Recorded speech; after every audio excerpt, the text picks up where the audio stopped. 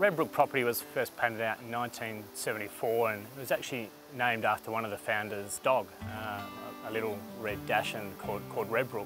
It's also the name of the, the flagship wines that have come out of uh, Evans and Tate since the mid-70s and the way we make uh, Redbrook wines is, is very unique and uh, they're quite distinguishable when you put them into lineups, even when you taste them blind.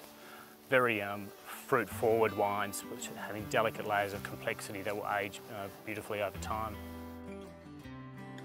Our Redbrook uh, wines have done very well in Australian wine shows and international wine shows and we, we expect that. You know, they're the, the benchmark varietals, not only from Evans and Tate, but out of the Margaret River region.